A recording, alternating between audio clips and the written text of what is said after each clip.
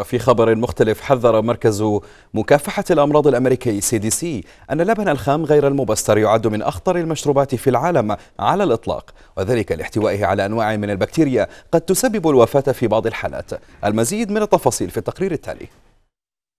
أظهر مركز مكافحة الأمراض الأمريكية أن الحليب الذي نحصل عليه من الأبقار والأغنام والماعز والذي لم يتم بسترته يعد من أخطر المشروبات في العالم، حيث أن البكتيريا التي تصيب بالمرض فيه لا يتم قتلها إلا عن طريق البسترة، ومن أكثر الفئات تعرضًا لخطر هذه البكتيريا في الحليب الخام النساء الحوامل والأطفال والمسنين والأشخاص الذين يعانون من ضعف في جهاز المناعة. والأعراض التي يمكن أن تظهر على الأشخاص الذين تناولوا الحليب غير المبستر عادة ما تكون قيء وإسهال وألم في البطن وحمى وصداع وألم في كامل الجسد إلا أن معظم الأشخاص يتعافون من الأمراض التي تسببها البكتيريا الضارة في الحليب الخام أو في الأطعمة المصنوعة منه خلال فترة قصيرة من الزمن بيد أن بعض الأعراض تتفاقم لتصبح مزمنة أو حتى تهدد بالوفاة.